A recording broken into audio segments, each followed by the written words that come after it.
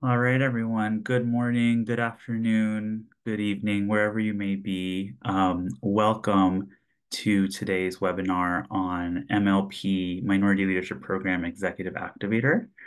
Um, I'm going to share my screen and we can go ahead and get started. Uh, my name is Vrushab Shah. Um, I am the Senior Manager of Digital Content and Leadership Development um, here at NASTAD. Um, I am so excited to talk to you all today about MLP Executive Activator um, and share with you a little bit more about this program that we are so happy to launch here at NASTAD. The um, session will cover some basics about the program and we'll talk through some of the distinctions between this program as well as our traditional MLP.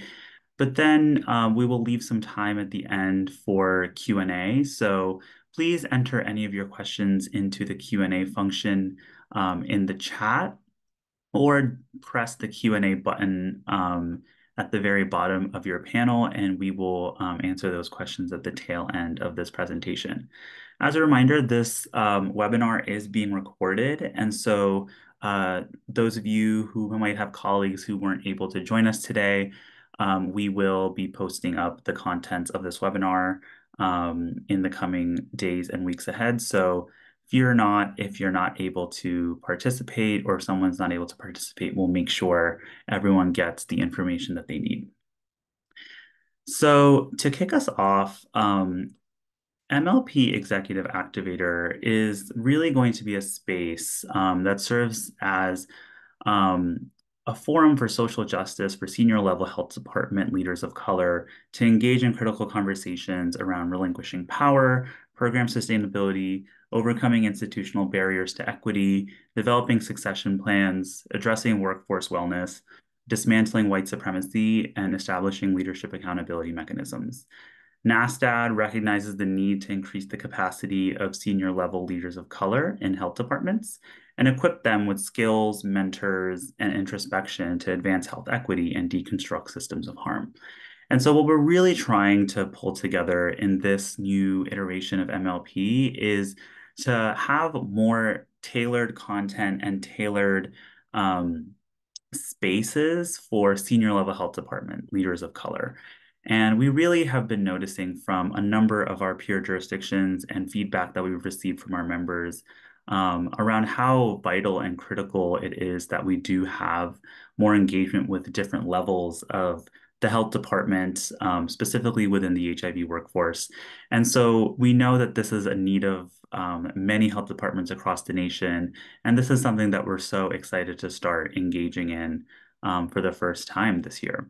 In many ways, this is going to be our pilot program for um, engaging senior level leaders of color in the nation. And so we're very hopeful that we'll get a lot of buy-in from numbers of health departments um, across the nation who also want to be involved in uh, creating more equity and deconstructing systems of harm. We have um, a large number of folks now who are um, sharing with us also that white supremacy and dismantling white supremacy and developing leadership accountability principles is something that has not been um, a cornerstone of the MLP program in the past. And so we're really excited, in addition, to make sure that the goals of this program are tailored to some of the new content and some of the new um, accountability uh, challenges that we will be in, uh, including in this new um, in this new program. So overall, you know, we really want to make sure folks um, understand that this is its own program.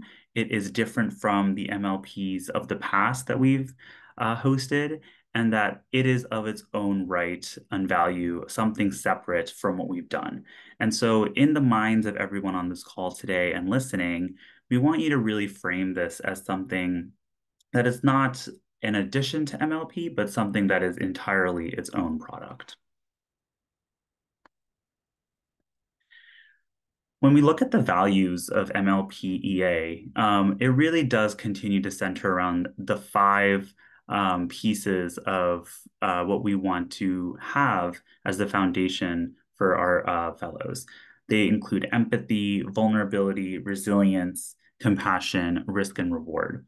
As a healing oriented retreat built on community support, these values ground leadership development in meaningful lived experience over arbitrary standards of excellence. So what we mean by that is MLPEA is really going to be a space that makes sure leaders and senior leaders of color are able to exercise empathy, exercise vulnerability, demonstrate resilience that's lived and brought into the room, exercise compassion, and challenge everyone to um, take risks and see the rewards. That is where adult learning and flourishing happens on anyone's leadership journey. And we have seen across now 10 cycles of MLP in the past how valuable these values have shown up and have been for everyone um, who's attended. One of the reasons we call this the foundation of um, flourishing and expanding on someone's leadership journey is because so much of MLP and MLPEA will be bumping up against really dismantling internalized systems of oppression um, that many folks walk into the room with. And so we're really excited that over the course of this retreat, we aren't sacrificing any of these values, but we're only building upon these values in different ways and with different content to make sure people feel um, that they can be a part of something bigger than themselves. And so when we look at the process for MLP um, this year, it really is going to involve um, four main pillars, right? So participants are going to be honing and developing both hard and soft skills that assist them as they advance through their careers in public health and in leadership. And participants are going to engage in essentially four main pieces here. So the first will be the pre-session 360 assessment.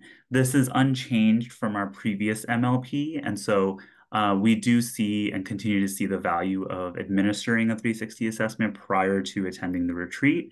This will give everyone an idea of their leadership impact already and see where their baseline stands, and will help them understand how this retreat is going to help them expand into um, new versions of senior leadership that they might not have um, been walking in with. The retreat will then be held in Tucson, Arizona. It will be um, on August 5th through the 9th, 2024. Um, and that is a Monday through Friday. Following the retreat, we're going to be building in new peer accountability check-ins. And so as part of the new content in MLPEA, we'll have a lot more accountability structures, challenges, exercises built in for senior leaders to really act on and be um, you know, checked in on down the road beyond the retreat to make sure that the information is implemented. But then in addition, their growth is supported. And so we don't want to leave anyone um, hanging high or dry. We want to make sure that peers continue to support each other throughout the entire program, and then of course beyond it. And finally, every MLP cohort, including this uh, cohort here at MLPEA, will have the ability to develop networks. So uh, folks in this cohort will be part of the MLP alumni officially, um, and they will be able to network with others across the um, nation in jurisdictions near and far for any kind of networking, for events, for webinars, for career advancement, whatever it might look like. And so we want to make sure that everyone who is coming into this space, for regardless of the fact that they are um, senior level executives and leaders, still have access to networking support because that support is what will make sure that their programs, their foundations, their jurisdictions are sustainable in the long term. So I want to spend a good amount of time now um, just talking about the distinction between MLPEA and MLP traditional. And I know that's a lot of what folks have been really asking about um, and curious about before they begin their applications or submit their applications this year. And so to start, you know, this is going to be a one week format instead of two. Um, there's going to be specific content on succession planning, partnering with human resources, dismantling white supremacy, collective power development at the senior level leadership, um, positionality, and surrendering power. And we're going to be having intentional time during the retreat to make sure these big pieces, these core pieces that are relevant to senior leaders um, are going to be prioritized. There will be, as I mentioned earlier, action planning around accountability mechanisms for senior leaders and health departments selected to participate. So that is kind of what I mentioned earlier in the process about uh, peer accountability check-ins um, that will extend beyond um, just the retreat. And specifically, you know, we're seeking leaders at the most senior positions within the health department. So we're defining that as uh, leaders with a cumulative seven years or more experience, inclusive of leadership experience external to the health department. And so the keyword here is cumulative. If you've worked somewhere else before, um, in addition to having um, senior level uh, positions at health departments, and that total is more than seven years, um, or it's seven years exactly, you qualify for this program. Um, and so we're being very intentional and specific about the folks who will be eligible for MLP-EA. In addition, the selection process is going to be a little different as well. While the application and materials are all going to be the same as previous MLP cycles, this year there will be no supervisor interviews um, during the application process. And in lieu of that, there will be a verbal agreement that will um, occur during the candidate interview process. We are also being really intentional about making sure that this program is um, open and available to prior MLP alum who have gone through traditional MLP and meet the selection criteria um, of, you know, cumulative experiences um, that might be more. But, uh, you know, the priority is still, um, you know, going to be on first-time jurisdictions and first-time applicants for this program. And so I just want to be really mindful with everyone about who is going to be involved and why um, you know, we do want a large pool, but at the end of the day, we're going to be prioritizing first-time applicants. Some important dates to keep in mind um, here are, you know, the upcoming deadline for the applications themselves. So April 29th is when we will need all applications due. That's going to be April 29th, 2024 at 5 p.m. Eastern Standard Time. So um, any application received beyond that time, um, we have a very strict deadline and we will, um, you know, we will not be accepting it. So April 29th at 5 p.m. Eastern Standard Time, based on wherever you are um, in the nation, uh, please be mindful that that's when applications are due. And that's inclusive of all of materials and all of the um, applicant content. We'll then host um, the interviews for um, selected candidates between May 6th to the 31st. Um, that is going to give us a wide win window of time to really hone in on the appropriate candidates given the pool of applications that we have. We'll then send out acceptance letters on June 10th. Um, that will be near the end of um, the Memorial Day weekend um, and the start of the summer on that day as well, we'll also send out um, 360 assessment instructions for those who are accepted, and that will be, um, you know, forwarded to everyone who has been accepted at that point. And then, as I mentioned earlier, the retreat itself, MLPEA, will be hosted in Tucson, Arizona on August 5th through the 9th, 2024. That is a Monday through Friday in um, the first week of August. And so again, I just want to um, highlight for everyone, um, you know, what an ideal candidate really looks like. Um, we have, again, all of these um, different qualities that I've listed out here in glory detail. I'm not going to read them to everyone right now. Um, like I said, this webinar will be recorded and we will be sharing this all out, but just want to really highlight that again, it's any person of color in a senior level leadership position with at least seven years of cumulative experience. As I mentioned earlier, um, the keyword is cumulative. And I've shared some examples down here of um, potential folks who and roles who might be eligible for this um, for this program. We want to look for a strong professional work history. Um, we want someone who has appropriate professional positionality to share and communicate their work with peers and the public. Um, we really want to see um, expertise and leadership that's been exercised in the field already. Um, and we want to know that you have a passion for dismantling white supremacy work culture and advancing um, health equity across your jurisdiction um, and your community. We want to make sure folks have um, you know, the commitment to giving up professional power and investing in leadership opportunities of other leaders of color within their jurisdiction.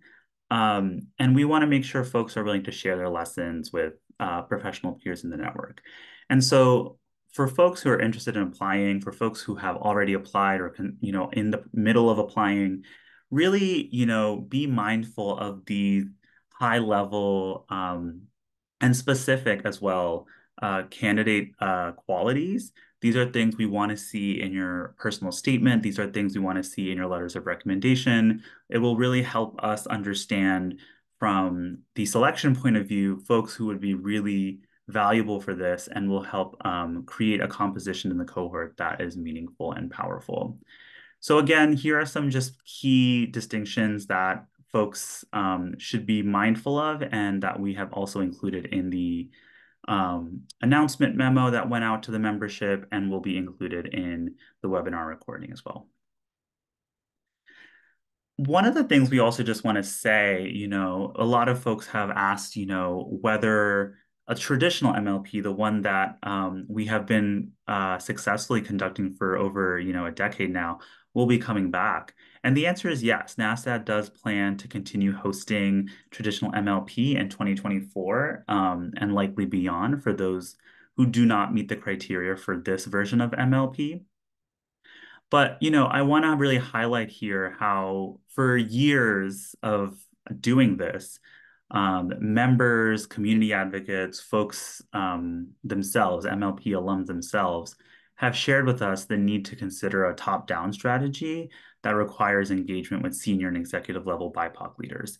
And so our hope is to mobilize these BIPOC staff across multiple levels in the health department to support each other and lead into advancing equity within their jurisdictions and how we actually see systemic change being implemented so that BIPOC health department staff feel that they have a space, they have um, directionality to move in their careers, and that um, their voices are at the table as we move forward together um, to to you know help all of the health inequities that we're facing in our in our communities. So um, really just wanted to name this, um, you know, before we dive into, you know, why we're doing this and, you know, why whether or not the the traditional version of MLP is coming back. Um, this was a very intentional decision that we made organizationally, and this is something that we're so committed to in terms of making sure BIPOC leaders across all levels of the health department have and get the support they need to make sure that they can flourish in their um, leadership journey as well as their career journeys. And then finally, before we turn it over to questions um, that folks might have, I just want to share the impact and legacy of MLP that will continue to be the case um, in this program and beyond.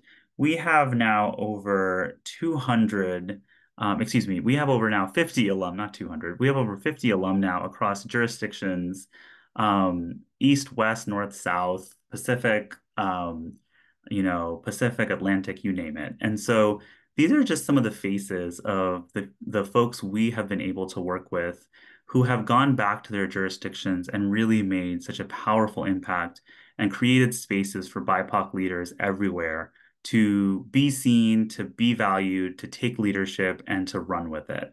And so my, you know, real call to everyone here is to apply to make sure anyone who could be eligible, might be eligible, might be on the fence, applies anyway. These all of these folks started off thinking they might not be right for the program at some point, and they left realizing how much power they actually have and how much they belong um, in this in this space and to take up space wherever they might be. So please um, encourage everyone to apply. This program really runs on the voices and the applications of talented people of color across the nation. And we could not be more excited to see and review everyone who joins us this year. And so now I'm going to turn it over to all of us um, just to see if anyone has any questions. Um, I know there's a number of folks who um, had submitted some questions, but um, I want to dedicate the remaining time to answering questions that folks might have. So please enter any questions you have into the question and answer uh, panel at the bottom, and um, we will answer them accordingly.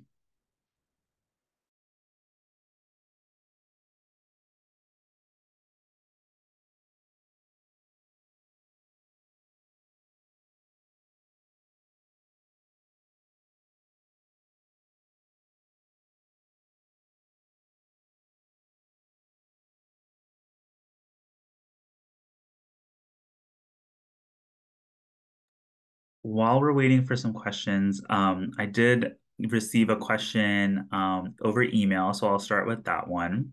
Um, someone wanted to know, can MLP alum from before the pandemic or so, generally MLP alum, can they apply um, for MLPEA? and will that be held against them? And so the answer is yes, they can apply so long as they meet the criteria of MLPEA. Um, I just walked through um, those specifics in the criteria. So again, that has to be met for this pool. And um, will it be held against them? Is the answer is no, absolutely not. Um, at the end of the day, the everyone is going to be considered the same once they're in the applicant pool, and we'll have a better idea of um, who will be a good fit. And so that might be someone who is an MLP alum, um, excuse me, but uh, it it also you know is something that we cannot tell based on um, speculation. So we will see based off of the pool, but the encouragement and the call to action is apply, apply, apply. The more folks we have, the better, the richer we can make um, assessments about who would be uh, a good fit for this program, and we will know better once we have all the applications in. So please apply.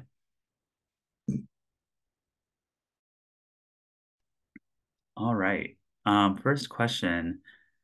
If accepted, this is from uh, Tangula Jefferson. If accepted, how much time will be needed to dedicate when, when working with the MLP? Great question. Um, so the only commitment is going to be the 360 assessment before the um, MLP retreat, which is going to take at least, um, you know, you'll have to do a self-assessment for that, which can take at least an hour max, but maybe 30 minutes if you're being pretty expeditious. And then the 360 assessment will include um, getting 10 to 12 uh, peers to fill out the same survey that you filled out in your self-assessment. And so that can take some time as well. So we usually give um, everyone about six weeks to get the 360 assessment done. And so that you have the full runway to make sure that um, everyone who needs to be um, in your peer circle who can talk about your leadership impact uh, has a chance to fill out the survey. Then um, you will be asked to do um, the full retreat. You have to be present for the full retreat. It will be in person. Um, it will run from 9 a.m. to 6 p.m. Monday to Friday, August the 5th. Um, you're expected to not be on calls. You're expected to not be on um, any meetings. That is uh, going to be part of the commitment in that space. And um, there will be no homework. So once we're done, you're done with the day. And then there will be accountability check-ins after the retreat is concluded, which um, should not last longer than an hour for each of those Zoom calls that will be occurring. So um, the time commitment is the retreat, the 360 assessments, and then the accountability check-ins afterwards. Um, and a lot of that also will be up to you on how you decide to parse out the work. We're hoping it's not a lot of work, um, but at the end of the day, this is a commitment you're making to your own leadership journey. And so you get out of it what you put into it. And um, the more you're able to commit, the more you're able to really benefit from everything that's offered. So thank you, Tangula Jefferson. I hope I pronounced that correctly. All right. Any other questions?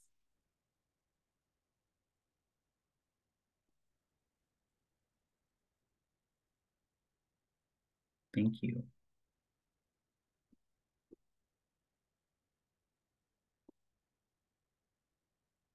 We have about four more minutes, so feel free to toss in any other questions. Um, I'll see. I have one more question from my email, but I want to make sure everyone on this call gets a chance to ask some questions.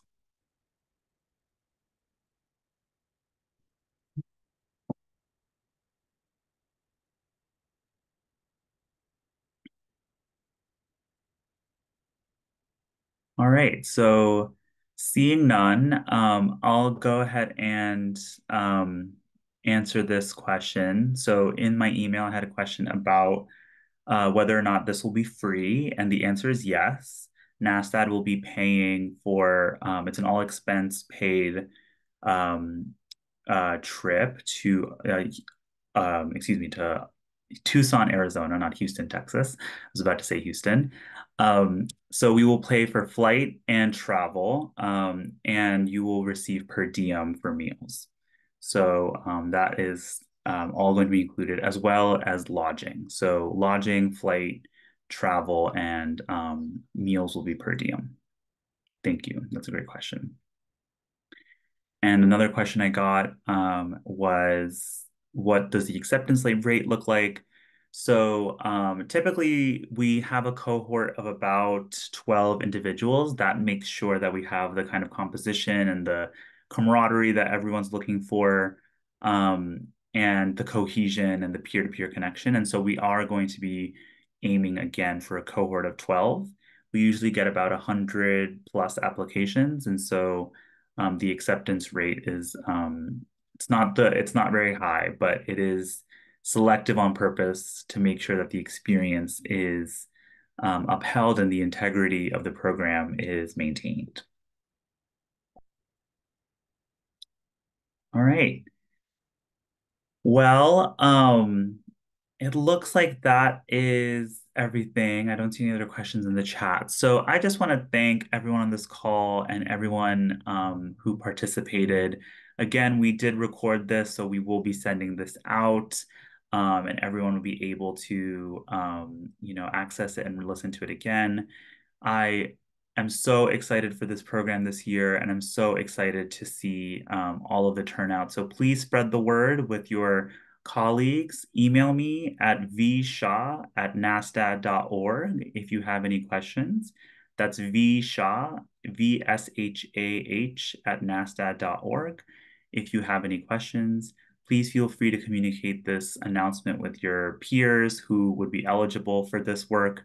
Um, and we will um, talk to you talk to you very soon. I hope everyone has a great day and um, takes good care. Thank you for joining us.